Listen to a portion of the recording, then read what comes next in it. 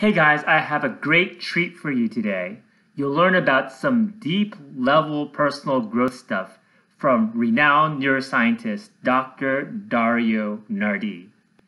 We'll speak about entering into the unconscious and digging up the treasure within the unconscious for our own personal transformation. This is some really cool Jungian stuff. This is a knowledge that modern society does not have as much access to, but old tribal communities did. How can we facilitate the treasures within the unconscious and bring it outward? You'll learn about it all here with Dr. Dario Nardi. Come check out his book in which he goes into this more in depth.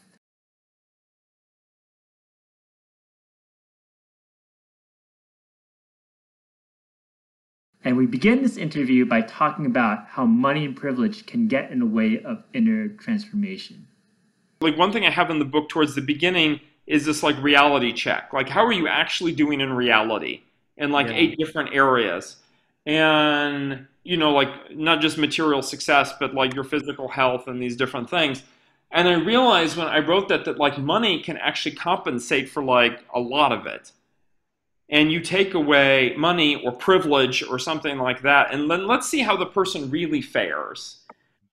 And even more so, there are so many relationships which serve the purpose of, like psychologically, of balancing. So that there, there's stuff that the person is not dealing with and they're not growing because their partner is covering for them. And I don't want to say codependent because it's not quite as deep as that, but it's a psychological dynamic where both people are inhibiting each other mm-hmm. from actually doing the growth that they need to do. That's interesting. You know, it's very interesting in earlier societies, which were much smaller, you know, at the tribal level is what I'm talking about, where everybody knew everybody else, and there often was a medicine woman or medicine man, and there were processes in place that would allow people, not just for things like rites of passage, but to engage in inner confrontation and healing. And a great example would be Native American Sweat Lodge. Hmm. And, and the person having to go through this very difficult, let's say, like physiological or biomechanical experience, which, which I, I, think so many modern people miss on, like they, they really downplay how important like a physical uh, like experience is like how much that can actually change the nervous system and and therefore release us from stuff or have us face stuff. And so there there was like these built-in processes but now you know it, there there are built-in things like going to a psychologist or taking a pill or something like that. But a lot of those even even in psychology the average person I don't know what the number is today, but I know 25 years ago when I heard it, the average person goes to a therapist like 1.2 times. You know, it's like they go once, they get us, they do get a benefit, like they don't run away from it, but they're like, oh, okay, you gave me the boost that I needed. And of course, the, the pills are very much that way, like antidepressants. Um, and so the, it really keeps people sustained in the space, which ironically, it's like saying we're never going to have winter. Right and we're never going to have autumn. And it's like no we need those seasons. Yeah. Yeah that that that makes sense. Um, so in, in, modern society what what makes it different from in you're talking about these uh, earlier earlier communities is that um, they have these mechanisms in place. They could be rituals or other means that could help us to facilitate the psychological transformation process. Mm-hmm. right. and and very much jung believed that you know, the, the purpose was not to live in the light. Uh, that that's not possible. We're human beings. We have animal part of us. Uh, we have things like pride and anger and pain and all that built in to the human experience. The the task is to to allow what is in the darkness to come out and to bring light to it, um, to to illuminate the darkness, and the these things which we might denigrate, some people might denigrate today, like oh, what is the point of ritual, for example? Like oh, this just stupid like repetition from the past. You know, it's it's superstition, and and yet our brains are actually very superstitious. Hmm. And we can use ritual as a way to create a container. And in that container, we can open a window from the unconscious. Mm-hmm. And Jung proposed a process like active imagination. I, I, think that there are other techniques which are more potent, mm-hmm. but it's it's still fine for some people. That's what they need. Um, that open that window and allow the stuff to come out mm-hmm. in a way that we can deal with. Mm-hmm. And and you know, right now it's like I believe the society is so. I mean, there are multiple reasons why, particularly American society, is so dysfunctional, and exporting that dysfunction to the rest of the world. Mm. Um, but it doesn't allow people the space to bring out the unconscious, except in an unconscious way in the social sphere. Hmm. Yeah, what, what do you mean by that? Um, like it's like how many issues play out, and like we've been seeing for the past six months in terms of like rioting. Um, uh, you know, there. I mean, there's a whole spectrum of it. There are protesters, rioters, and looters, which are actually three different things, and and there are underlying issues, but there there's not really a framework to allow those to come out except in a very controlled way.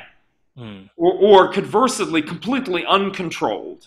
Mm. Instead of saying, let's enter a container where we're going to surrender our, our like reins of power in order to allow the process to reveal something to us that we all need to see and to work through. Mm. You know, the politicians never want to release reins of power. Corporations don't want to release reins of power. That's terrifying to them. Mm. Um, so how it comes out is it comes out in uncontrolled ways. And and uh, you know I, I, just feel like i'm using something that's at the time. In jung's time especially in the 1930s it was about the, the slow rise of nazism as people started observing it and then it became more and more and so on over the course of a decade more than that really actually over 20 years. Um, and and uh, you know there there's there there's no like healing processes in our society that that are not individual that are free of of like the needs of people to have like maintain power. Hmm. and and that's where i feel like where, whereas in a traditional like tribal society yes you would have politics like you have today. Like there always the human psychology is there. I i believe that. But in the other hand there were some places that were, quote, sacred, like truly actually sacred. And the sacred meaning, not in a superstitious sense, but saying in a sense that this is a space where we are all, we, plural, all of us are willing to surrender to the process. Wow. Yeah. And and we don't have that right now. And and that's um, and I think that's why so many people are disillusioned with religion. Hmm. Um, I mean mainstream religion because it lost its capacity for whatever reason reasons to enroll people. If I read the lives of the early saints and the early Catholic Church in the first 300 years, very, very different than the last 300 years. Hmm. Like profoundly different in terms of one that was originally very mystical, was very taking people through a process. Um, and, and, you know, it, it's I mean, this is it, gets on a whole tangent, but it's very much why I would say, you know, some people say like, oh, Jung was very mystical or not scientific or whatever, and Jung actually was aware of those criticisms and said, no, it's not true at all. I actually take psychology incredibly seriously, mm. and that's why I bring up these issues. And. I believe it's the same. I don't see healing at a, an individual very much, or certainly community level unless people are willing to go through a process together. That makes sense.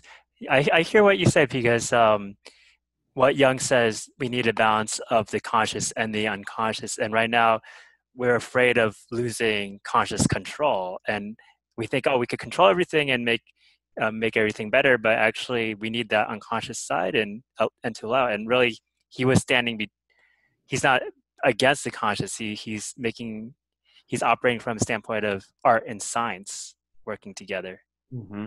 Mm-hmm. And and really saw this this. I mean, and he was the person in his word association test that established scientifically to, which has carried us to this point today throughout all of psychological science where they're like, oh, of course there's an unconscious. like that, I mean that that's just accepted and understood. Their unconscious processes and and all of that, and it's um, you know I, I'm reminded at the times that I've been to ayahuasca ceremonies and where people submit themselves to a psychedelic which is loving and relentless. And there are certain people, and I see them come in, and I'm like, oh, yeah, they're going to have a difficult time.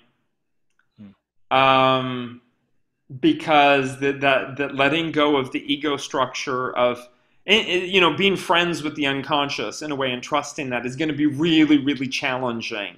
Mm-hmm. Um, and then there are other people who like you know, do amazingly well. I, I've seen ENFJs be absolutely like floored and and I don't want to say crushed, but like really like seriously dealt with. And then I've seen ESTPs like get amazing benefit and like not resisted at all. Hmm. And and and emerge from the other side, you know, they both may have emerged in the same place in the other side, but I think some of it is like there are these fundamentals that have nothing to do directly with type. Right.